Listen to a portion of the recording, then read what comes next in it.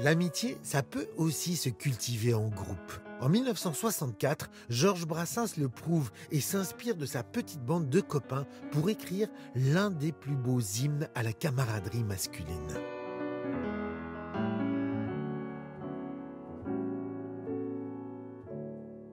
Non, ce n'était pas le radeau de la méduse, ce bateau, qu'on se le dise au fond des ports, dise au fond des ports. Naviguait en perpénard sur la grand-mare des canards et s'appelait les copains d'abord, les copains d'abord. Ces fluctuates, mergiture, c'était pas de la littérature, n'en déplaise aux jeteurs de sorts, aux jeteurs de sorts. Son capitaine et ses matelots n'étaient pas des enfants de salauds, mais des amis franco de port, des copains d'abord. Dès qu'on rassemble des copains, on chante les copains d'abord. Elle est dans les colonies de vacances, dans les camps scouts, euh, dans les casernes, elle est partout. Les copains d'abord est sans doute la chanson qui colle le plus à la peau de Georges Brassens. Pourtant, vous allez voir que ce titre n'était pas du tout prévu au programme pour le chanteur. Tout commence en 1964. Réalisateur à succès, Yves Robert, à qui l'on doit notamment La guerre des boutons, cherche une chanson pour illustrer le générique de son nouveau film Les copains. Pour ça, il fait naturellement appel à son ami Georges Brassens. À l'époque, Brassens a déjà 10 ans de carrière derrière lui et le réalisateur qui lui voue une admiration sans borne n'a aucun doute sur son talent et sa capacité à écrire la chanson phare de son film. C'est tout de même intimidé mais confiant qui lui propose cette mission. Tout ce qu'il fait me touche tellement que c'était une grave épreuve pour moi de porter le scénario en disant écris-moi une chanson sur le film, sur le scénario sur le, et sur le roman de Jules Romain. Et puis il a accepté, il l'a fait. Brassens n'est ni un habitué, ni un amateur des chansons de commande, mais il accepte l'exercice par amitié pour Yves Robert. Et il se met alors au travail. Il se trouve qu'un copain de Brassens, Pierre Louki, a déjà fait une chanson qui s'appelle Les copains. Donc quand Brassens va écrire une chanson pour Les copains, le film, il peut pas faire une chanson qui s'appelle Les copains. Il est obligé de faire une chanson qui s'appelle Les copains autre chose. Et ça devient Les copains d'abord. Pour les paroles, le chanteur est très inspiré. L'amitié, ça lui parle. En quelques jours, le texte est terminé. Brassens s'attaque alors à la composition. Il peine à trouver la mélodie et s'y reprend à plusieurs fois, mais il finit par livrer sa commande.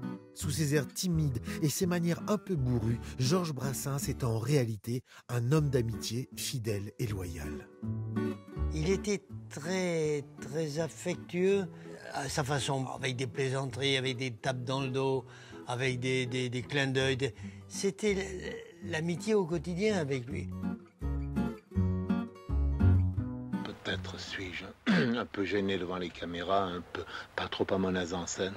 Alors tout cela concourt à donner, à créer cette image de l'ours qui est absolument fausse. Tous ceux qui m'ont approché le savent. Et ceux qui le connaissent se souviennent aussi d'une générosité à toute épreuve.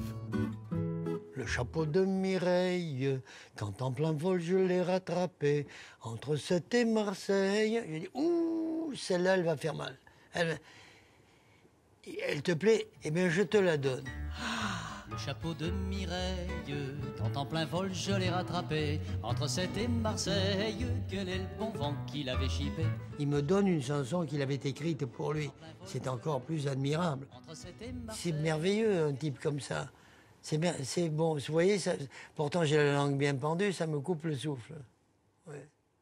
Les copains d'abord, c'était pas un vain mot. Il était comme ça. Georges Brassens aurait-il écrit cette chanson sans l'impulsion d'Yves Robert? Aurait-il eu l'idée de chanter l'amitié de cette manière-là, lui qui l'avait déjà plusieurs fois évoqué dans d'autres chansons L'histoire ne le dit pas. Il nous aurait en tout cas privé d'une chanson devenue un classique de notre patrimoine. C'est euh, peut-être le succès le plus foudroyant de la carrière de Brassens. Cette chanson, elle est accessible à tout le monde. Pas le fait de la chanter, mais le fait de la vivre. Au rendez-vous des bons copains, il n'y avait pas souvent de lapin. Quand l'un d'entre eux manquait à bord, c'est qu'il était mort. Oui, mais jamais au grand jamais, son trou dans l'autre se refermait. Cent ans après coquin de sort, il manquait encore des bateaux, j'en ai pris beaucoup, mais le seul qui ait tenu le coup, qui n'est jamais viré de bord, mais viré de bord. Naviguait en père peinard sur la grand-mare des canards et s'appelait les copains d'abord, les copains